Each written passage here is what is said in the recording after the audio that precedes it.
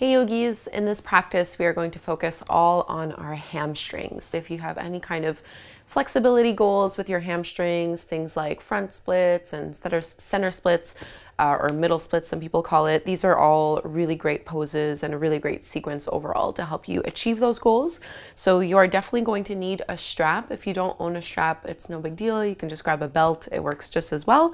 And have one block also somewhere close by. So we're going to start right away using our strap doing the reclined leg stretch series. So it's reclined leg stretch one, two, and three. And we'll do it on both sides. So you can come all the way down onto your back.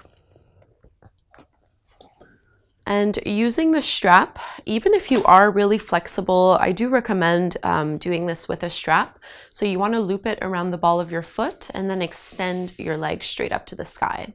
So a lot of people really like to hold on close up towards the foot and you're totally welcome to do that. This is up to you. I simply prefer to have my upper arms relaxed on the mat. So I like to hold it further down. Um, but again, it's totally up to you. And try not to hyperextend and lock the knee here. So just a tiny, tiny little bit of flexion at the knee uh, just to help protect that joint. And if you find that your leg begins to shake or it's really hard for you to hold this pose, try bending your left leg and keeping the foot flat on the mat and maybe letting the leg not go quite as far. And that should help that out. So we're gonna start, this is leg stretch one. Just trying to keep the ankle, the knee, and the hip all in one long line. So you are using a little bit of arm strength, but try to use as little as possible so that your um, leg can relax. We don't want to create any kind of tension in the neck and the jaw and the shoulders. Your arms are really just holding your leg in place. And rest assured that we're just going to go deeper and deeper into the hamstrings. So don't feel like you have to go all out with this first pose. We're going to ease our way into it.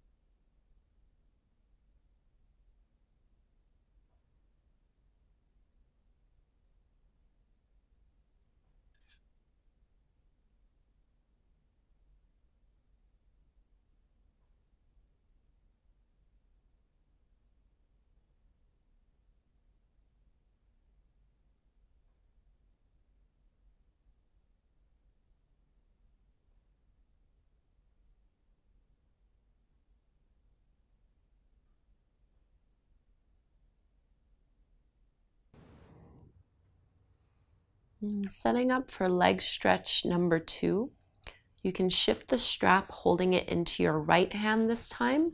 And we're gonna let that right leg open up to the side and down.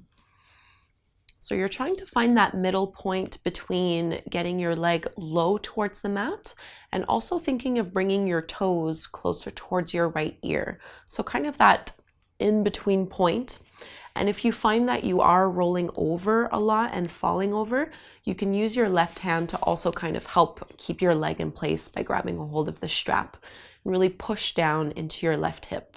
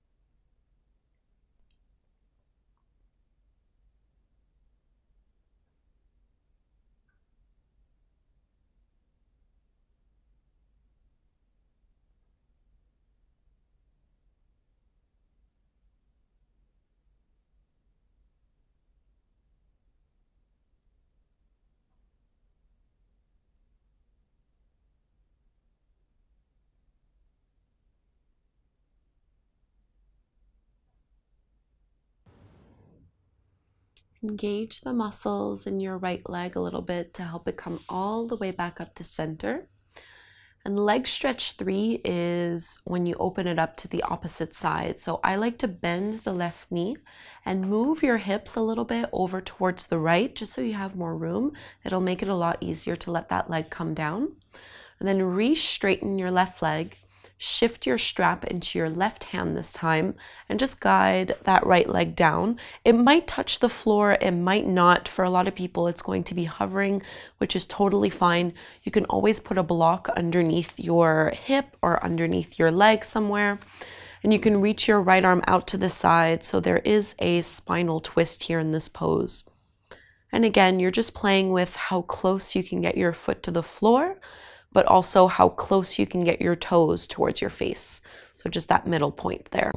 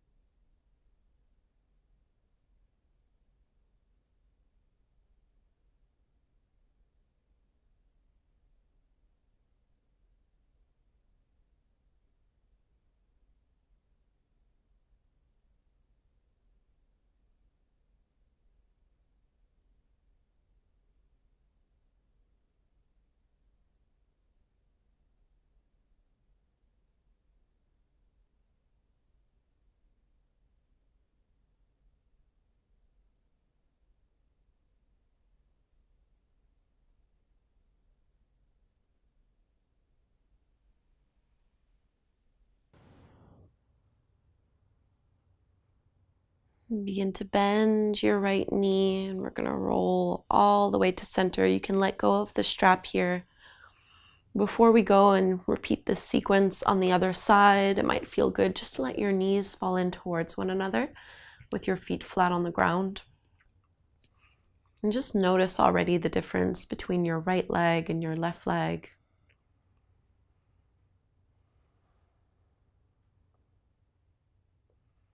This is a really simple but highly effective sequence you can do if you're trying to increase flexibility in your hamstrings. And we'll go and do the same thing over on the other side. So starting with leg stretch one, you can slide your right leg straight down and loop the strap around the ball of your left foot this time. And again, choose where you want to hold on. I like to go a little bit lower. You might find that one side is totally different from the other.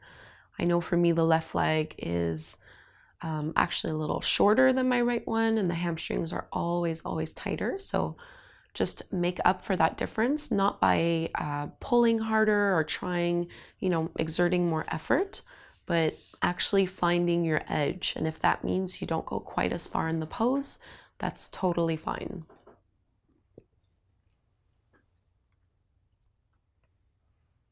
A little bend in that knee. And deepen your breath.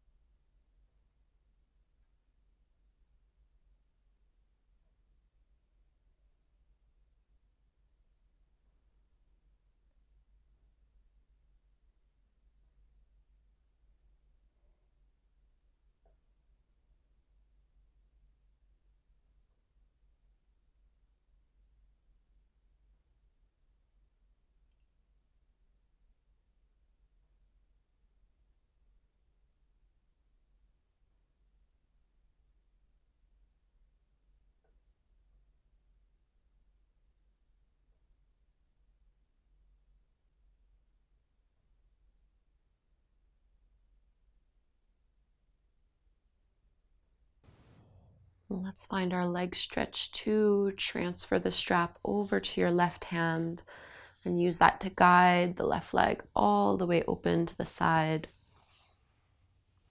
And if you feel like you're toppling over, you can reinforce the hold of the strap and the hold of the leg by using your right hand as well. Try to push into your right hip and right shoulder. Little micro bend in the knee and just soften here.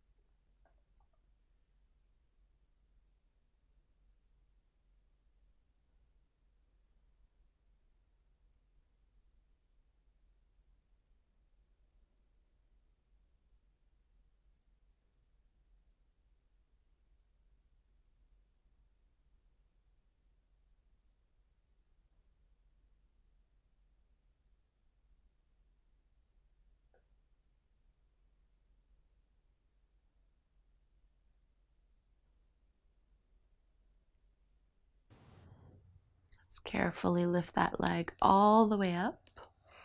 Bend your right knee again and just shift your hips a little bit to the left this time, just to make it easier to twist. And you can re-extend your right leg, bring your strap over to your right hand just to guide that foot maybe all the way down or maybe on a block. Reach your left arm out to the side. Try to keep your left shoulder down on the mat. So collarbones face up.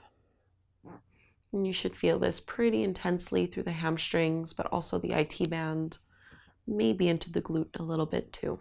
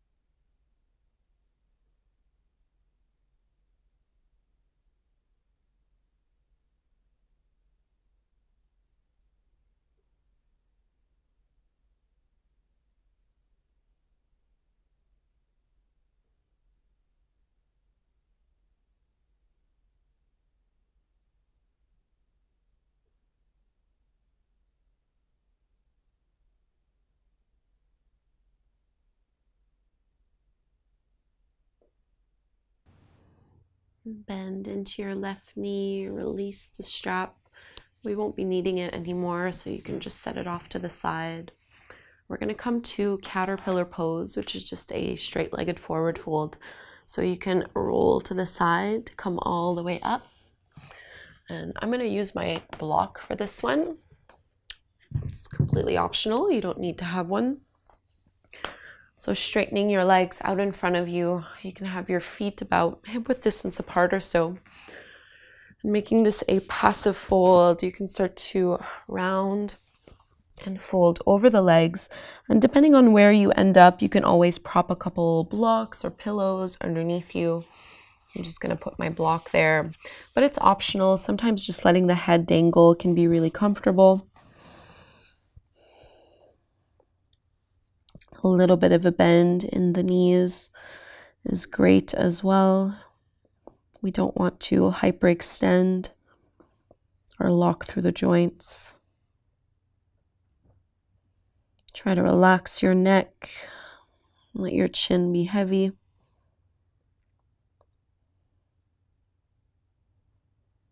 And while this, of course, works deeply into the hamstrings, you'll probably also be feeling it along the spine, into the back of the neck, and maybe even the back of the head.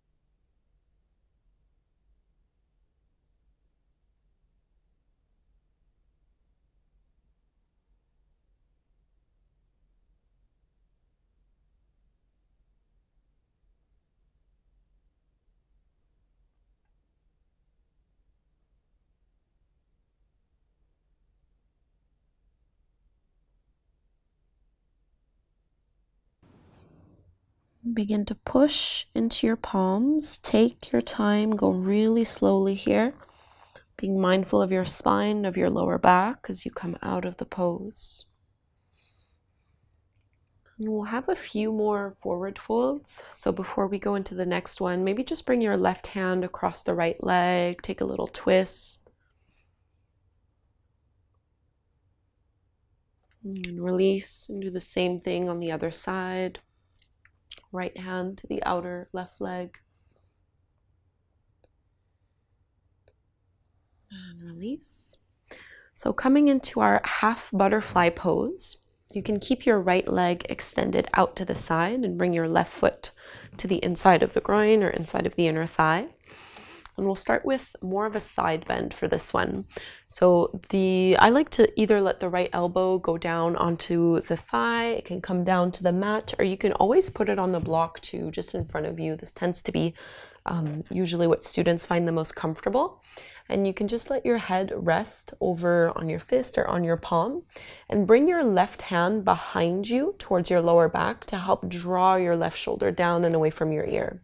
So of course, the lower you get towards the floor, the deeper you'll feel this in the right hamstrings, but you'll probably feel it through the left side of your waist as well.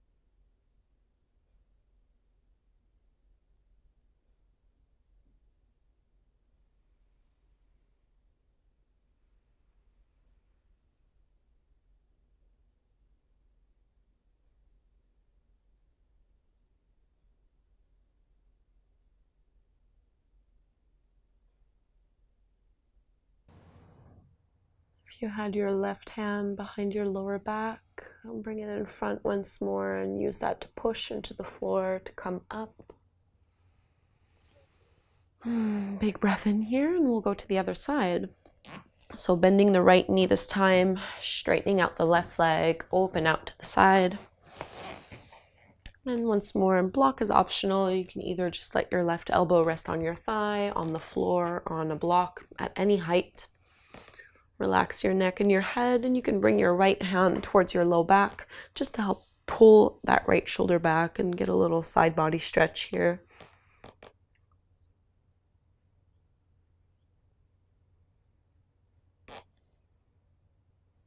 No tension in the jaw, in the neck, or in the shoulders. Just finding your edge. So if you have a hard time breathing or feel like you need to fidget or move or readjust, it's usually a good indication that you've gone a little too far in a pose. Less is always more with yin.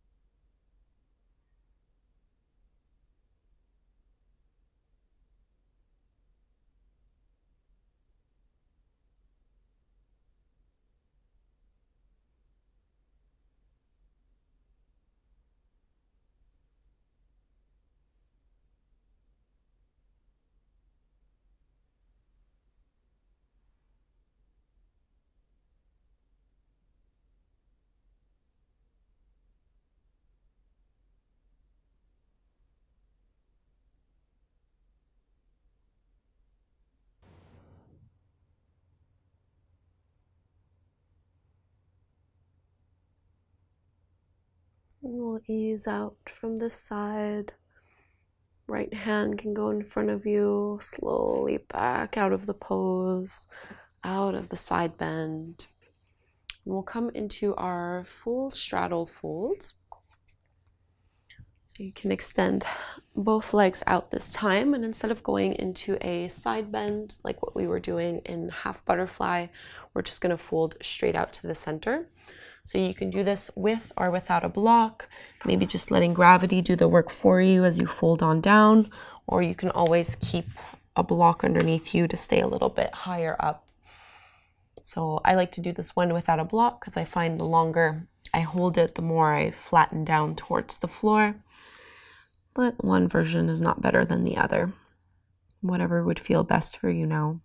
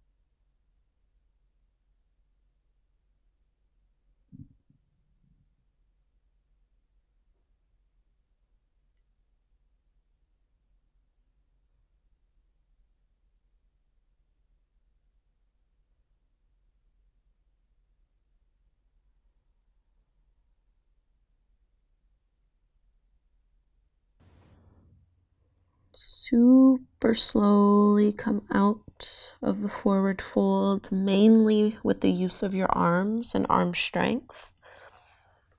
Just walk your hands in inch by inch.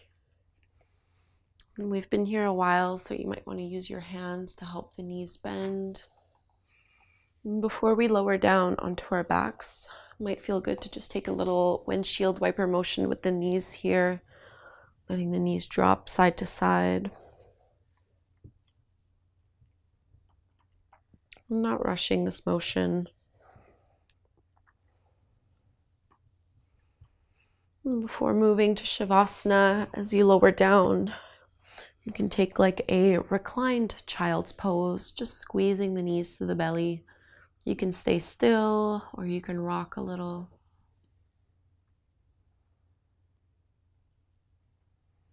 Taking about 10 breaths here.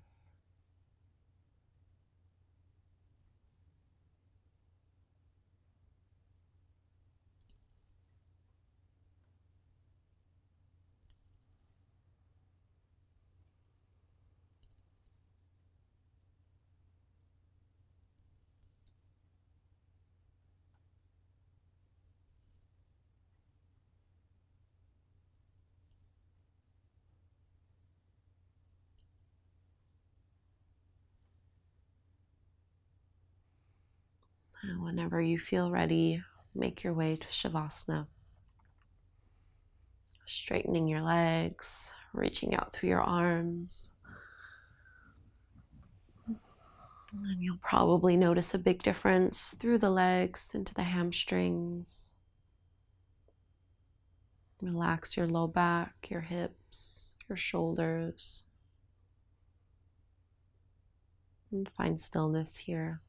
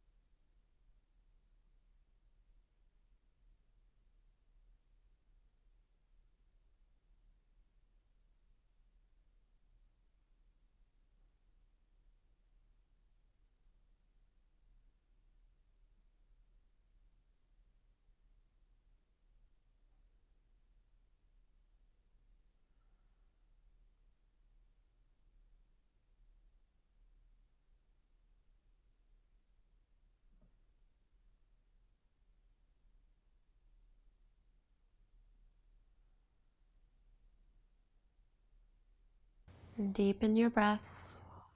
Begin to reawaken. You can reach your arms up overhead and stretch out really long. Roll to the side. Come on up to take a seat. Closing your eyes and drawing the hands together at the front of the heart. And bowing in gratitude. Namaste. Thank you, yogis. I hope you enjoyed this practice, and I look forward to practicing again with you soon.